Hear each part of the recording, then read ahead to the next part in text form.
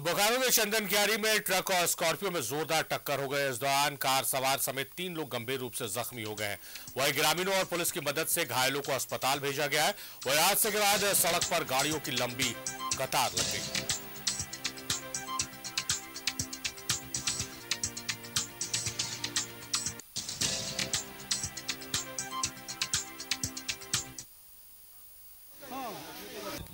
वो चंदनका की तरफ़ से तेज रफ्तार से स्कॉर्पियो आ रहा था और लाइन ट्रक जो है, वो झरिया तरफ़ से आ रहा था।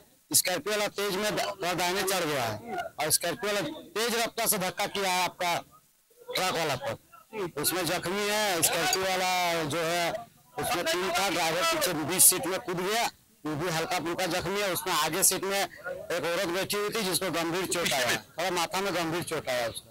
और एक बच्चा था बारह पंद्रह साल का। टेंपू ट्रक और सूचना के बाद हम लोग आए सत्यापन के लिए तो यहाँ पर जो है